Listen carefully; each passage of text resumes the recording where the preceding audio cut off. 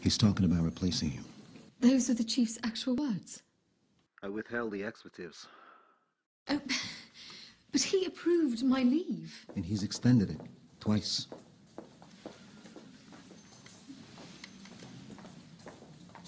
What are you doing, Lady Jane? It's just something I have to do, Joe. Okay. But I can only cover for you for so long. I understand. Uh, thank you for letting me know. Okay.